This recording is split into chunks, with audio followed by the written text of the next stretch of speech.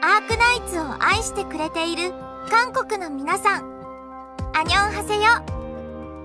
この半年間ロドスのみんなと一緒に頑張ってくれて誠にありがとうございます。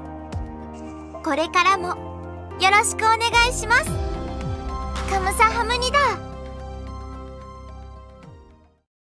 アークナイツ。